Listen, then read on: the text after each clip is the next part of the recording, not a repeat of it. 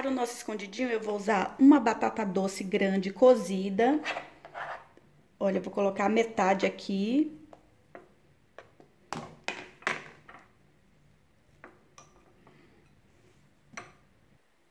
Vou colocar aqui quatro salsichas que eu cozinhei ao molho. O molho de tomate, gente, faz do jeito que você faz em casa, com os temperos que você gosta, cebola, alho, ok? Vou cobrir aqui. Vou cobrir com o restante da batata doce, gente. Essa é uma receita pequena, dá para duas pessoas. Se você quiser maior, é só dobrar a receita.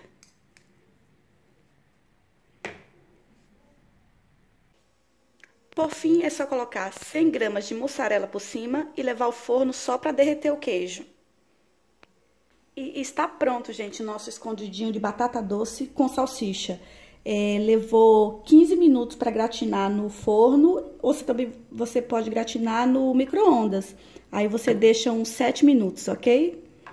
Olha, isso aqui fica muito gostoso. Fica show de bola, hein?